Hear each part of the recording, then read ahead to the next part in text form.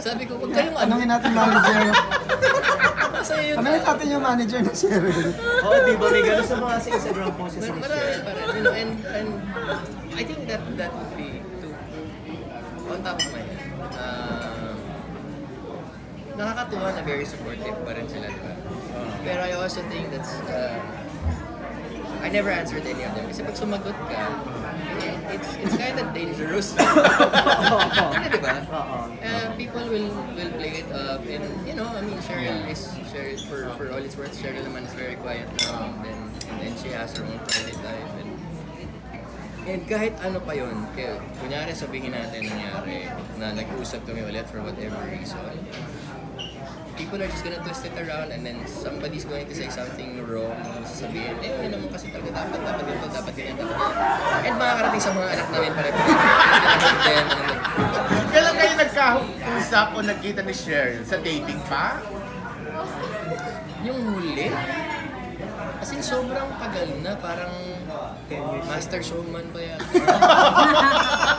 May nagkaano kayo, di ba nagka-project kayo? Sa GMA parang ano? Sa GMA yan, di ba? Hindi yung master showman bago mawala sa picture. Mga ganun pa naman yung latter. Ah, wala talaga kayong Hindi naman. nag-pra- acting? Hindi ka nag-campaign Hindi para sa kanya? Hindi natutuloy. Una, taga Quezon City ako. Oo.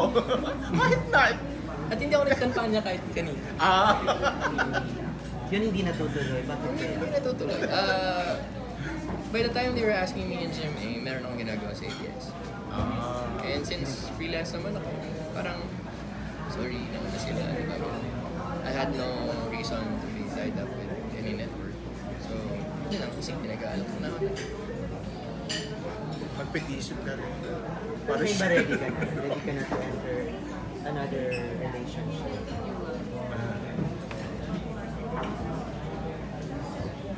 Ready is a big word. Di ba?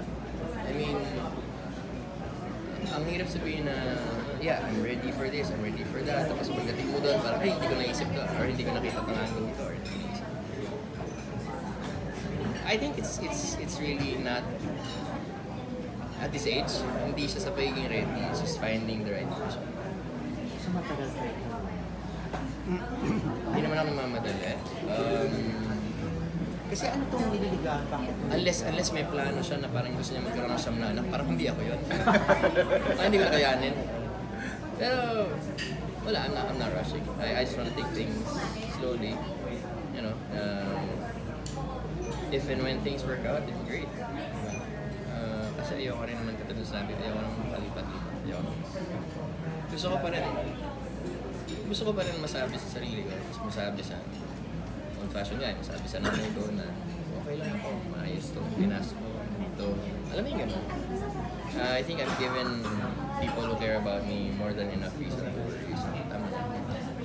Any other upcoming projects or nakakahon na? Yeah, I have one streaming now for for Iowa, yung past, present, birthday.